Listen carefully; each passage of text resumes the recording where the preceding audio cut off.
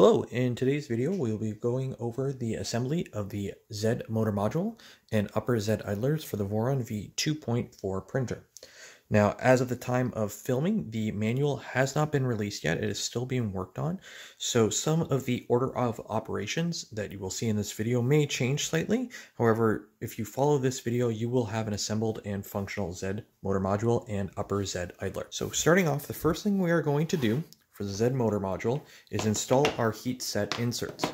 Now there are six that we have to install here as well as three up here. So this is the style of heat set insert we will be using. As you can see there are two rows of knurling and they go in counter uh, directions to each other. And then there's also one slightly smaller outer diameter section. So this is the lead-in essentially for the insert. Now for installing the heat set inserts, I use a soldering iron. This is nothing special, just a $10 AliExpress special. Uh, for setting heat set inserts, you do want your iron set to the lowest temperature you can go. You want to gently melt these into place. If you go too hot too quick, uh, you do risk uh, burning the plastic. And I find that if I go too hot too quick, it's very easy to tilt or set the inserts in a way so that they're not perpendicular to the hole. You do want them as straight as possible.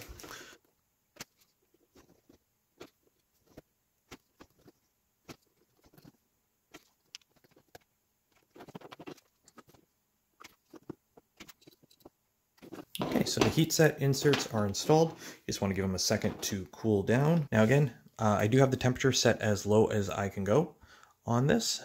And in this case, it is about 220 degrees. And the nozzle tip I use is just the standard conical uh, tip that came with it. However, I did file it down slightly so it's not as long, so it doesn't stick out past the inserts. Now, if you do uh, set your inserts in and find that some plastic has oozed up and it's no longer flush, you can simply take like an X-Acto knife and just skim the extra plastic off. Now, the next thing we're going to do is assemble the, uh, I guess you could call it the drive shaft for the Z motor module. Now, for this, you will need your 60 millimeter long uh, 5 millimeter pin with flats, your 80 tooth idler. Put that through. Take your bearing, put that on the end. And then the next thing will be two of your 1 millimeter thick washers. Another bearing. Two more washers.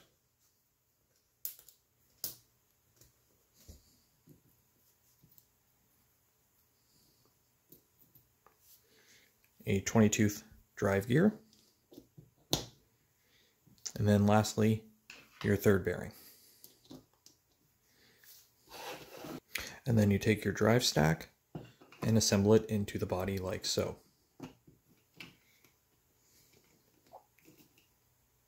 Okay.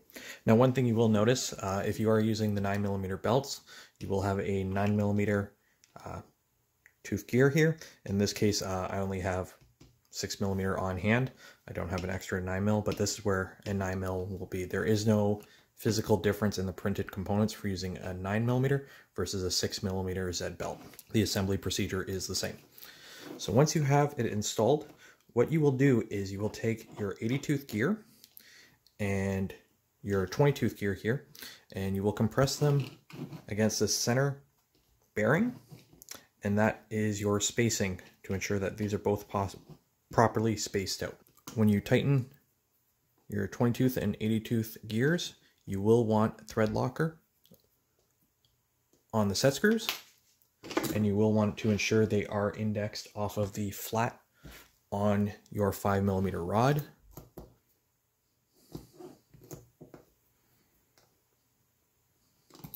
Go. That's installed.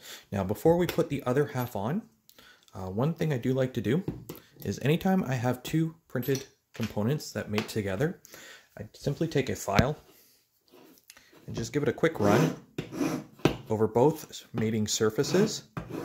Uh, this ensures that, you know, sometimes, especially if you have Z-hop enabled, you might have a little blob or a little bit of stringiness. This just gives you a flatter mating surface. And then before we final assemble, of course, we will want to install our 188 millimeter belt. Put that back into the body. Take our other half and put them together. And then once both halves are together, we take our M3 by 40 millimeter screws and we screw both halves together.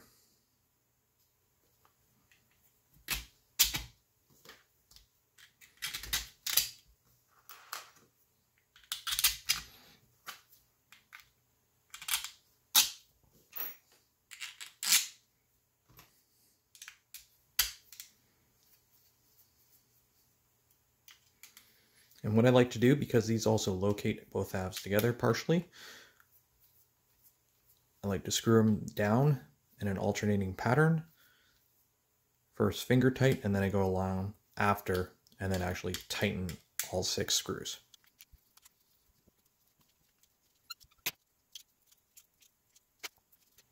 And there we go.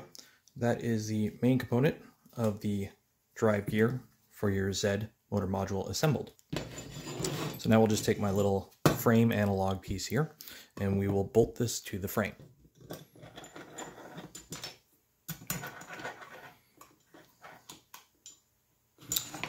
And you will want the body flush with the front of the frame in the extrusions. There is an indexing tab on this portion here. Make sure that is in the slot and screw it down once everything is squared up and in position. There we go. Now the next part we will be assembling is your motor mount.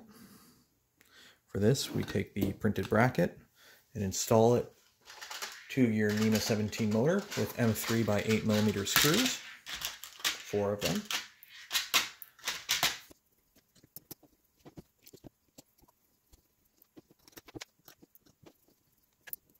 And then once the motor bracket is installed, we take the latch portion here,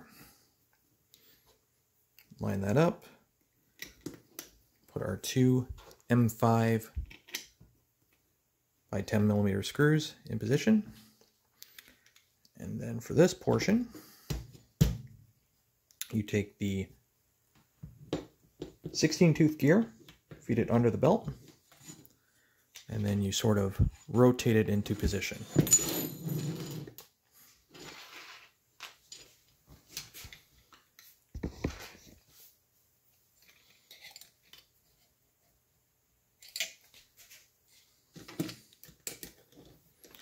Line up your T-nuts.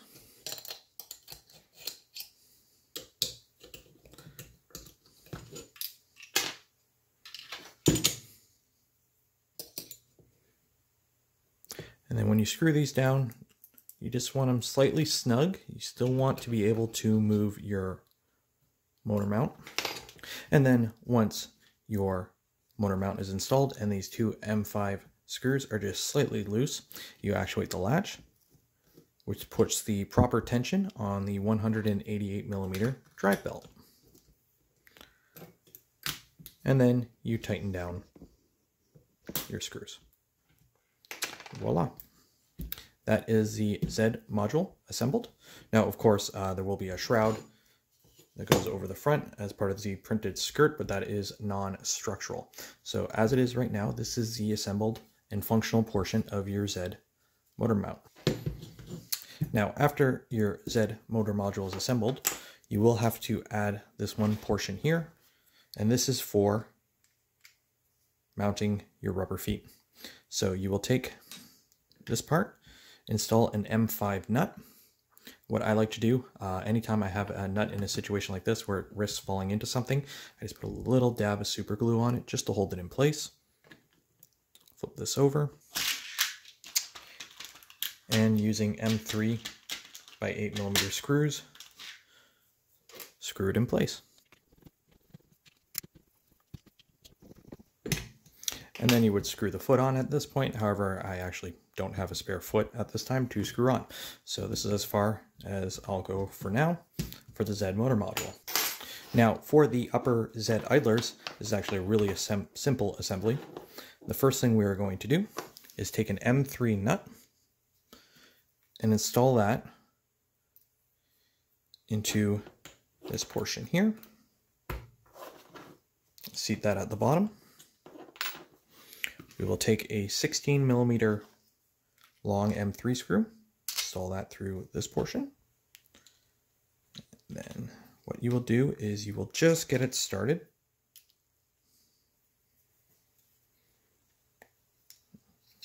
Pretty much as soon as you see the screw come out through the top of the nut, that's as far as you need to go for now.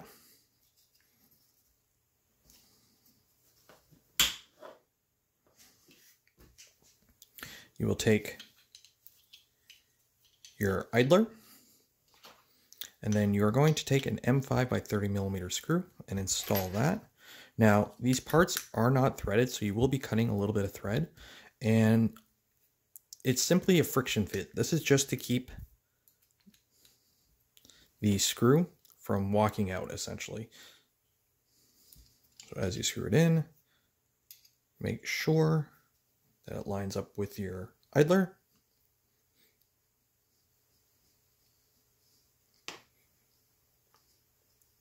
And then as soon as the head of the screw bottoms out, you're done.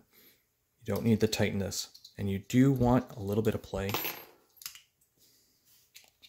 So that way if there is any slight misalignment of your belt, it'll compensate for it.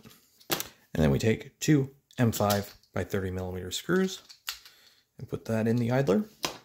And then again, we'll take my frame analog here and we will install that into the frame. Now, if you look, there are two slight variations in the idler. There's an A and B, and the only difference is the direction of this little indexing tab. So when you install it, this indexing tab will index into the extrusion next to it. So we simply screw this down.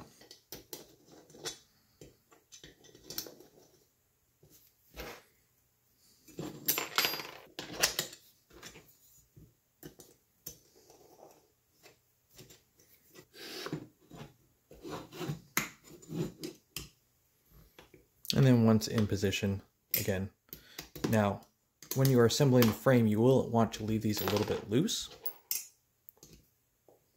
And the reason for that is, with these tight, this portion cannot move. So you do want this to have a little bit of play, because after you run your belt through it, you will use this M3 screw here to properly tension your Z belts.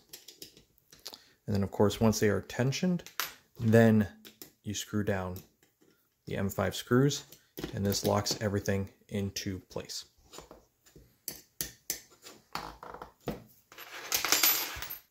Thank you for watching. If you do have any questions, please feel free to ask them in the comments section below or hit me up on the Voron Discord. I do plan on continuing this build series for the Voron V2.4, and I have been streaming on Saturday nights now uh, around 8 p.m. Eastern. So if you are bored on a Saturday night and wish to follow my build along of a Voron V2.4, please feel free to join me. Thank you, and have a great day.